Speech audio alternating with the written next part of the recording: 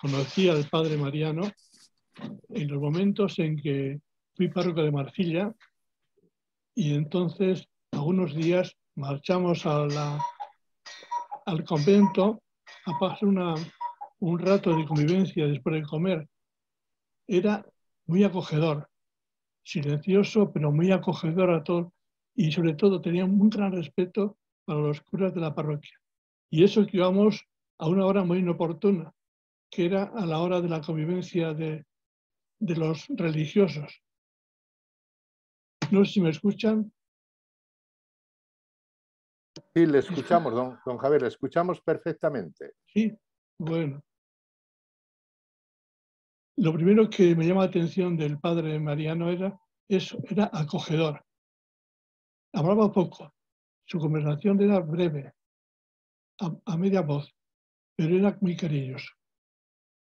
Tenía la voz, aún no sé qué voz tenía porque solamente se le escuchaba en el confesionario. Y ahí sí que era acogedor, sabía perdonar, sabía aconsejar, era un buen confesor. Nunca lo vi fuera del convento por el pueblo, nunca lo vi paseando fuera de por las calles del convento. Pero sin embargo, los del pueblo de Marcilla lo conocían por su misionarismo en China, decían que era un mártir de China, le tenían veneración, lo conocían por más por el confesonario que por otra cosa. También lo conocí más tarde, cuando era yo canciller del obispado, pues me tocó hacer la apertura de la causa, hacer un poco el guion del proceso nombrar al, juez.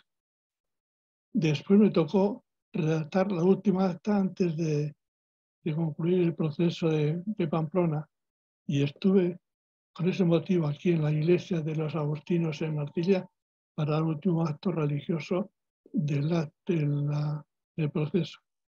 Lo que más quería ahora es que pronto fuese ya santo y que lo tuviese como intercesor en el cielo. Nada más que eso gracias al Padre Mariano y gracias a la comunidad de Padres Agustinos de Marfil.